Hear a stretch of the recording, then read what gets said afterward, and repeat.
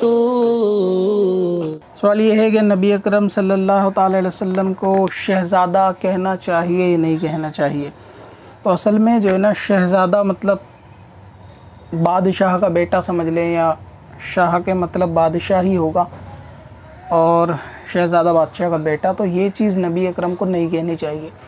ये हाँ अहले बैत तार में से आप कह सकते हैं, अगर इमाम हसन हुसैन को कहना चाहें कि वो शहज़ादे हैं नबी अकरम के, तब तो वो बात चल जाएगी, लेकिन हुजूर पाक के लिए लफ्ज़ नहीं कहना चाहिए, क्योंकि वो शाह हैं और तमाम शहज़ादों के शाह हैं, बल्कि तमाम शाह के भी शाह हैं।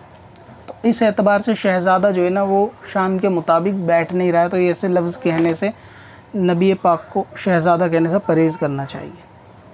अब अपनी कज़ा उम्री नमाजों का हिसाब लगाना हुआ और भी आसान। विज़िट करें कज़ा calculator dot S M S Warsi dot com पर और इस कैलकुलेटर से अपनी तमाम कज़ा नमाजों का हिसाब मिनटों में करें और डाउनलोड भी करें। अब से अपनी खताओं का शुमारा